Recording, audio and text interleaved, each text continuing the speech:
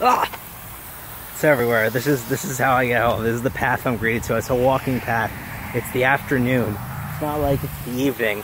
It's the afternoon. This is this is a normal time of day to be walking, but uh, this is the shit that they do because these plants need water.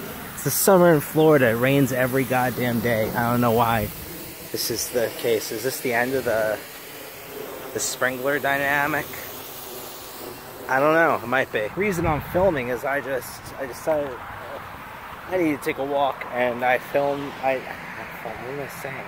My words are all jumbled up. Um, I listened to emotional anime raps, the uh, new Digi Digi Trial of the Golden Witch album, and uh, it was fantastic. Um, I listened to for Stella the Magic prior, and it's probably definitely in my top five, maybe my number one Trial of the Golden Witch song.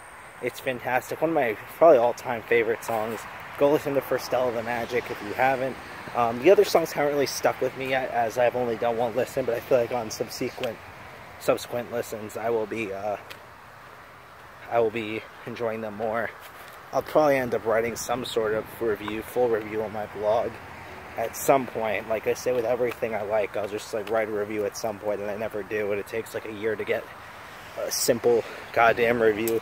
I've been talking about writing the story of Naruto lifer for like months now and I still haven't just sat down and done it. I wrote part one and it came out like shit and I can't write. So I don't know why I even try writing, but that's aside the fact. Anyway, listening to Digibro's light novel now. Um, it's pretty great so far. I'm about like 10 minutes in, I don't know.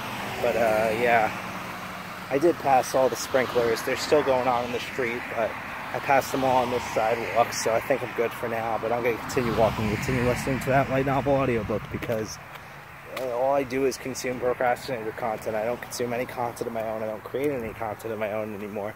I just sit there and consume procrastinator content all day. So thanks, guys. This is what you've done to me. It's all your fault, not mine. It's not my fault. It's your fault. So goodbye.